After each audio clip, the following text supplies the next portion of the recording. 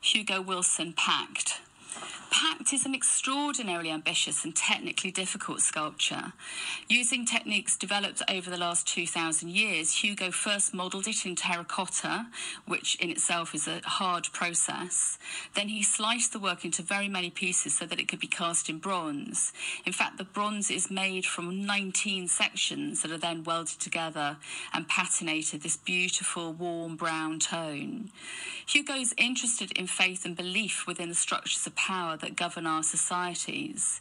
And his work deals with the complex ways in which cultures generate systems of belief and meaning.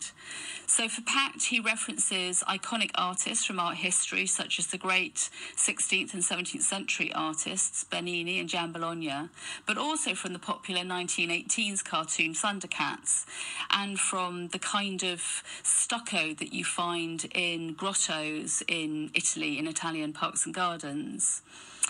So, in a way, Hugo teases us with these partial forms, but they're just enough to be recognisable.